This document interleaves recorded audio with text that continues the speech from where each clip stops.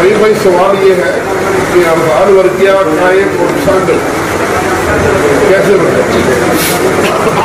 जी, सुबह इंशाल्लाह हड़ताल वर्किया कायम और संड बना के दिखाएँगे प्रैक्टिकली ये मेरे कल के नुस्खा जात में है। तो वैसे नुस्खा अभी बयान भी कर देता हूँ। एक पाव सुहागा ले ले। उसको सिल्वर के बर्तन में ना फुल्ला कर ले। सिल्वर के बर्तन में। दूसरी बार फिर उसी बर्तन में उसे भून के फुल्ला करें। इस तरह तीन बार अमल करें। तीन बार भरिया करने के बाद उसको पीस लें और एक पाव मीठा सोडा उसके अंदर करल कर दें। खूब अच्छी तरह यकजा करने के बाद कढ़ाई के अंदर आपने तीसरा हिस्सा नीचे बिछाना है। ऊपर तोला तोला की डलियाँ हड़ताल की रख लें, दो हिस्से ऊपर डाल दें और इसको दो चौबी आग पे रख दें।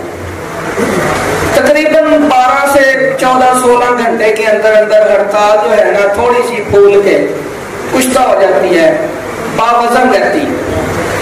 यहाँ पे लोग समझते हैं वज़न कम हो गया क्योंकि फूलने से हजम बढ़ जाता है और वज़न कम हो जाता है। आप वो डलिया निकालें और पानी में डाल दें, गर्म पानी में। रात पड़ा रहने दें, मीठा सोडा उसका जो है हल होकर निकल जाएगा और हड़ताल आपको ब्राउन कलर की, कलेची रंग की बावजन नीचे मिले। उसको निकाल के आग पे खुश्क कर लें इस हड़ताल का ये म्यार है कि अगर इसको भट्टी में रख के चढ़ दें, ये तेल होकर खड़ी हो जाती है। तांबे के पत्रे पे इसको रख के ऊपर से परमल चला दें, जिससे सोना जलाया जाता है।